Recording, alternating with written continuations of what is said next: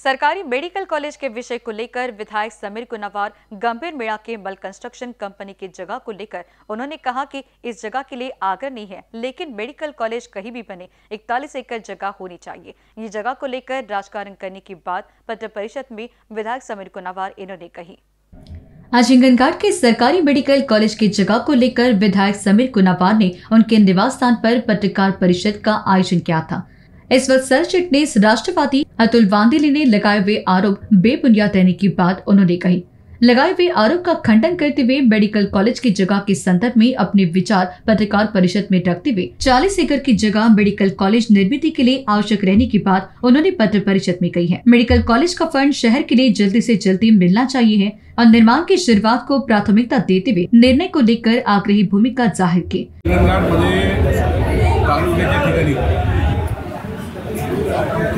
एकनाथ शिंदे आणि देवेंद्र फडणवीस साहेब उपमुख्यमंत्री आणि अजित पवार साहेबांनी आपल्या हिंगणघाटला आम्हाला हे शासकीय मेडिकल कॉलेज वर्धा जिल्ह्याचं हिंगणघाटला दिलं. आता जागेवरून राजकारण सुरू आहे. हे जे नऊ जिल्ह्यामध्ये महाराष्ट्र शासनाने जे घोषित केले होते नऊपैकी सात जिल्ह्याचे आतापर्यंत निधी मंजूर झालेला आहे आणि त्यांना चारशे तीन कोटीचा निधी हा देण्यात आलेला आहे. हिंगणघाट हिंगणघाटमध्ये अजूनपर्यंत निधी वितरित झाला नाही.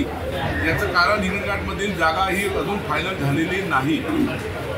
आणि सध्या जागेवरूनही विरोधी पक्ष वेगवेगळे खूप चुकीचे खोटे आरोप करत आहे त्यांनी केलेल्या आरोपाला कुठेही पुरावा नाही. आणि माझं त्यांना सांगणं आहे की मेडिकल कॉलेजच्या बाबतीमध्ये राजकारण नको. मोठ्या मुश्किलने हिंगणघाटला मेडिकल कॉलेज मिळालेलं आहे. या मेडिकल कॉलेजमध्ये सर्व विरोधकांनी एकत्र येऊन याचा सगळी प्रयत्न केला पाहिजे. जी कुठली जागाच्या जागेची निवड केली पाहिजे. आणि या ठिकाणी अजूनपर्यंत शासनाने कुठल्याही जागेची निवड केलेली नाही.